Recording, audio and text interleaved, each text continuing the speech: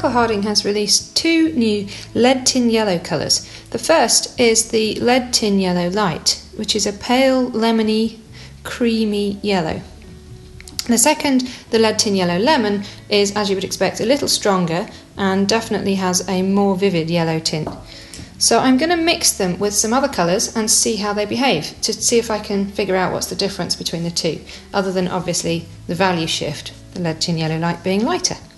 So I'm going to start with a little bit of ultramarine just to see what kind of blue these yellows are going to make.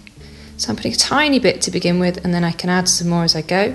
It's making a really lovely, delicate light green this is the lead tin yellow light, and you can see it's kind of minty green. It's very gentle, um, delicate aqua kind of colour. Very pretty green. If I now try the same with the lead tin yellow lemon, you can see immediately as I push it around the palette that it's a stronger yellow in the first place. And as I add the blue to it, it's a stronger green. But still quite natural the yellows are warmer than I expected. I wondered if they would be a little acid, but they're actually, they've got a lovely buttery warmth to them. Um, nice natural colours. So let's try and see how they behave now with some red. I'll try some cadmium red light, very strong colour, so I'm just going to use a tiny amount there, tiny bit, and see what happens. Ooh, that's a really warm peachy pink. Very lovely colour, great for flesh colours, very helpful for figure and portrait. And the same now with the lead tin yellow lemon. Again, just a tiny bit of that cadmium red will go a long way. And that's giving me a richer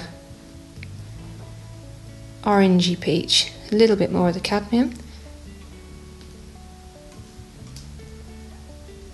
Beautiful. Might be useful for flowers, this one as well.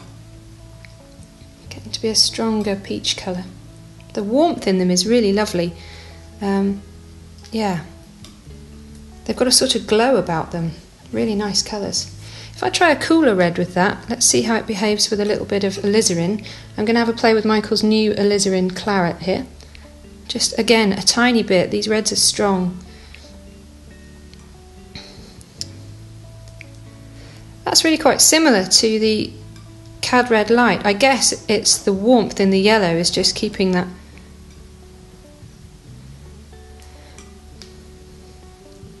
keeping that quite rich. You can see there it's it's cooled off a little with the crimson, but not as much as I might have expected. So there's really quite a lot of warmth in this yellow.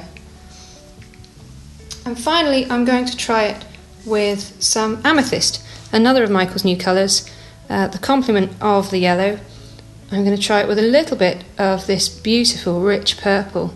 You can see just a tiny bit of the amethyst here and see what kind of grey we get with desaturating the yellow.